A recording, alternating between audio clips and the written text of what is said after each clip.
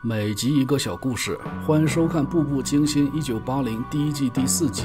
这一天对女子莫顿来说是值得庆祝的，因为经过孤儿学校的层层审核，今天莫顿终于可以把小男孩吉姆收养回家当自己的干儿子了。校长牵线搭桥也和吉姆强调，不可以再喊莫顿阿姨了，以后你应该喊妈妈了。感谢了校长长期以来的照顾，吉姆就安静的上车了。看似是一个美好的开始，怎么也没有想到，接下来一连串怪异的事情等着这个新组建的家庭。路上，莫顿正开着车呢，也不知怎么的，车子突然失控，混乱中，莫顿努力的操控方向盘。就发现怎么也不是自己操控的方向。处在这个情境下，您看看小男孩吉姆的这个表情，就好像什么事儿都没发生一样。好在和迎面的一辆汽车擦肩而过，再往前行驶一段路，车子刹车恢复，莫顿紧急刹车就挽救了场面。回忆起刚刚短暂的事故，莫顿摸着脑袋，嘴里嘟囔着，也不知道怎么回事儿。而吉姆就安抚着：“下次小心一点吧。”不是，怎么感觉辈分调换一下？现在收养的儿子是自己的爷爷是吗？到家收拾一下情绪，莫顿也和吉姆科普房间的基本信息，以及自己的丈夫特伦。这个玩具是你爸爸特伦给你买的。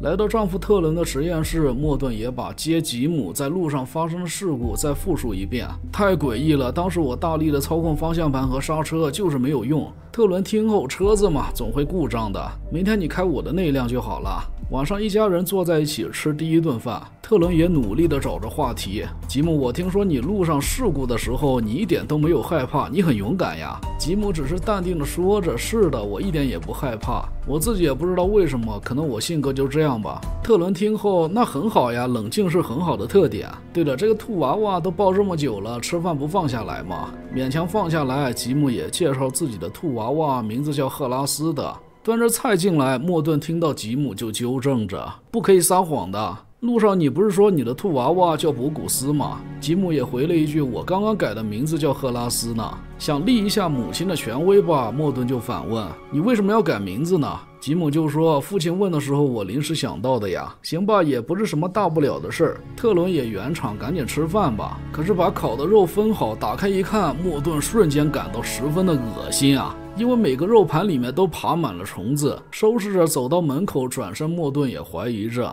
小吉姆是你干的吧？我做饭的时候就看见你站在烤箱附近呢。”吉姆一听：“没有啊，我当时有点饿，就想找点吃的嘛。”特伦刚插了一句：“小孩子不用怀疑吧？”莫顿就大声强调：“我没有怀疑啊，我只是在摆事实，好吗？”也意识到可能自己说话太急了，不像个好母亲的样子。临睡前，莫顿就来到吉姆的房子，还带了一个新的兔娃娃。表面上假装敷衍，接受了母亲的礼物。等莫顿走后，吉姆直接把兔娃娃扔到了地上。刚煮了杯牛奶，准备回房间，忽然听到一声尖叫。莫顿赶紧从楼梯跑到了吉姆房间。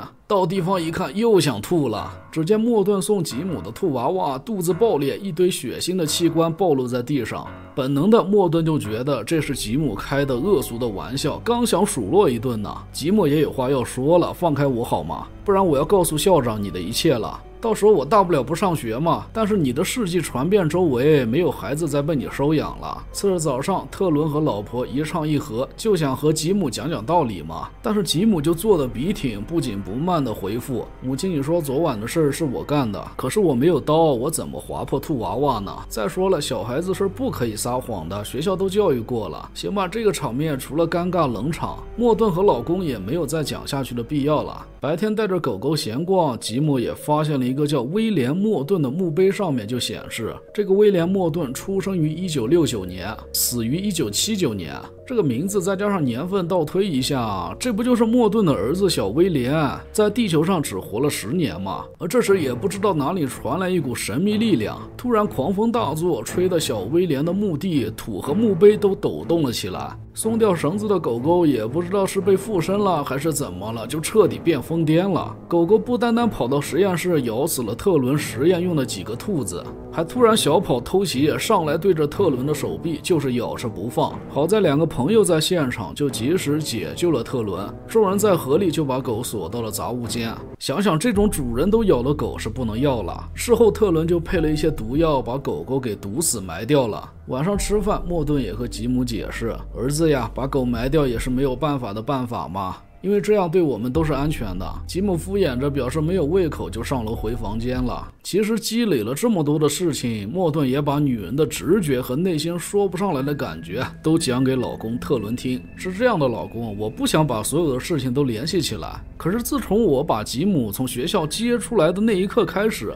我就感觉有一个恶魔一样的东西在搞我们。好的，车的事故、肉虫子、死兔子，我们都不说了。可是你想想，我们的狗养了几年了，很温顺的吧，从来不咬人，它怎么会突然发疯呢？即便特伦作为科学家，其实也是赞同老婆说的，因为今天修车厂的师傅反馈，其实老婆的车子刹车和方向盘都没有检查出来什么故障。换而言之，就是车子是好的呀，也不用纠结了。随着一股力量劈开威廉的墓碑，故事的谜底渐渐揭晓。几乎是同一时刻，吉姆在房间的抽屉里也找到了以前威廉的一本日记本，翻开一读，小学生嘛，都是用简单的语言写的。我的母亲和父亲。他们声称爱这个世界，但是我感觉我和他们的距离就像天上的彗星一样那么遥远。很显然，字里行间里透露的是小威廉对父母是不满的。吉姆刚读完，小威廉就突然出现在了镜子里。吉姆见状也是淡定的说了一句：“我就知道都是你搞的鬼。”听到一阵狗叫声，莫顿醒来一看，只见自己死去的儿子小威廉从门口走进来后，就自言自语的说着自己写的日记。开灯一看，可能是幻觉，变成了吉姆，莫顿也问着：“你怎么会在妈妈的房间呢？”吉姆听后，我很害怕呀，我好像听到了狗叫的声音。哦，我也听到了，起身把吉姆送回房间，安抚吉姆睡觉。又听到了狗狗的叫声，莫顿就赶紧来书房，找到了丈夫特伦。两人也纳闷着：难道狗狗没有死吗？